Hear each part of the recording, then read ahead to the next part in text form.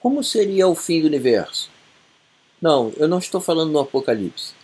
Eu estou falando nas pesquisas científicas que têm sido feitas a respeito. Querem saber? Vem!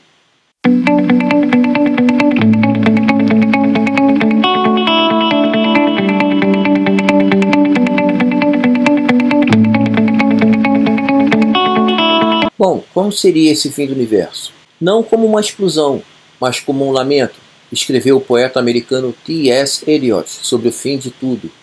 Mas, se você preferir uma resposta mais definida, você descobrirá que os pesquisadores têm passado inúmeras horas revirando essa questão nas suas mentes, e eles quase chegam às mais plausíveis hipóteses em algumas poucas categorias.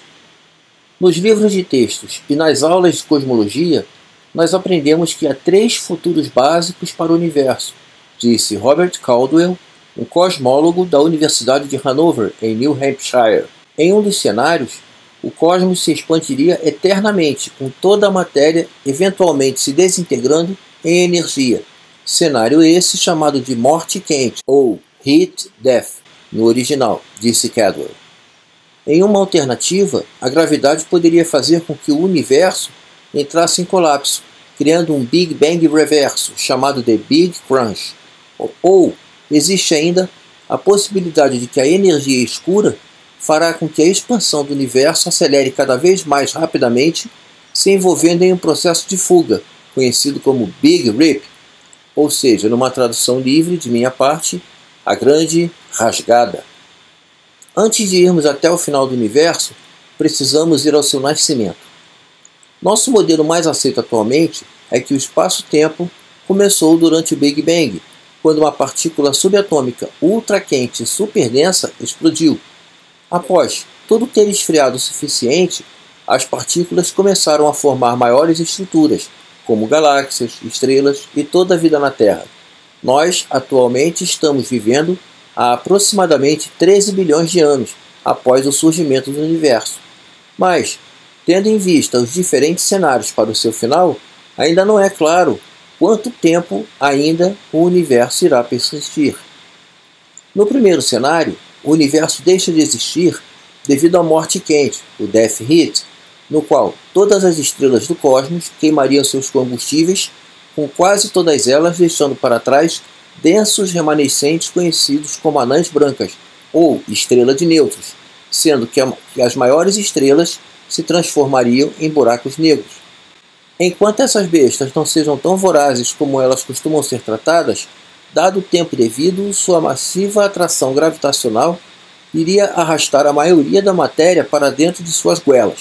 Assim, algo espetacular poderia acontecer, disse Caldwell. Pensa-se que os buracos negros são fortes em liberar uma, um especial tipo de emissão, chamado de radiação Hawking, nome dado em homenagem ao falecido físico Stephen Hawking, quem primeiro postulou essa teoria. Essa radiação, na realidade, rouba de cada buraco negro uma pequena parte de sua massa, causando-o a evaporar-se lentamente. Após alguns anos, sendo esse número 1 seguido de 100 zeros, todos os buracos negros iriam dissipar, deixando para trás nada mais do que nada, apenas uma energia inerte, de acordo com Kevin Pimblet, um astrofísico da Universidade de Hull, no Reino Unido. No caso do Big Crunch, que seria o Big Bang ao contrário, a atração gravitacional das estrelas e galáxias poderia um dia começar a juntar o universo inteiro novamente. O processo iria acontecer como o Big Bang reverso, com grupos de galáxias colidindo e se fundindo, e as estrelas e os planetas se tornando uma coisa só, e finalmente o universo se tornaria um ponto infinitamente pequeno novamente. Esse cenário prevê uma simetria temporária ao cosmos. É limpo e organizado, diz Caldwell. É como se você fosse acampar. Não deixe nada para trás. A possibilidade final para o final do universo é conhecido como Big Rip, ou o Grande Rasgo, em uma tradução livre da minha parte. Nesse cenário, a matéria escura, a misteriosa substância que atua em oposição à gravidade empurra e quebra tudo parte por parte. A expansão do cosmos acelera até que as galáxias distantes estariam se afastando tão rapidamente de nós que suas luzes não poderiam mais ser vistas. Enquanto a expansão acelera, cada objeto mais próximo começa a desaparecer, no que Caldwell chamou de muro da escuridão. Galáxias vão para o longe, o sistema solar vai para longe, e isso faz com que sua imaginação fique selvagem, disse ele, assim como planetas, átomos e o próprio universo. Então, quais desses finais aconteceriam? Já que a energia escura ainda não é bem compreendida, os pesquisadores ainda não sabem quais desses cenários irá prevalecer. Caldwell disse que os observatórios em desenvolvimento, como o Wild Field Infrared Survey Telescope, ou Telescópio de Pesquisa de Campo Largo, o WFIRST, ou o que está para ser inaugurado em breve, o Grande Telescópio de Pesquisa, o LSST, irá ajudar a estudar o comportamento da energia escura, talvez proporcionando uma melhor compreensão do final do universo. Existem outras ideias exóticas de como o cosmos deve chutar o balde.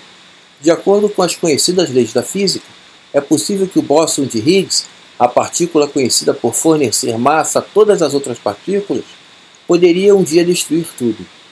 Quando ele foi descoberto em 2012, o bóson de Higgs foi descrito como uma massa de cerca de 126 vezes a massa de um próton, mas é teoricamente possível que haja mudanças nessa massa. Isso é porque o universo não deve estar em sua menor configuração energética possível nesse momento. O cosmo inteiro poderia estar no que é conhecido como um falso vácuo instável, se opondo a um verdadeiro vácuo.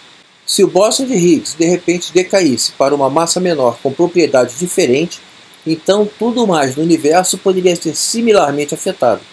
Os elétrons não seriam mais capazes de orbitar em torno dos prótons fazendo com que os átomos fossem impossíveis de existir. Da mesma forma, fótons desenvolveriam massa, o que significa que o brilho do Sol parecesse uma tarde de chuva. Se qualquer criatura poderia sobreviver a esse cenário, ainda é incerto. Caldwell ainda completa. Eu poderia classificar isto como uma espécie de catástrofe de partículas físicas e ambientais. Isto não estaria causando diretamente o fim do universo, seria apenas um terrível lugar para se viver, disse ele.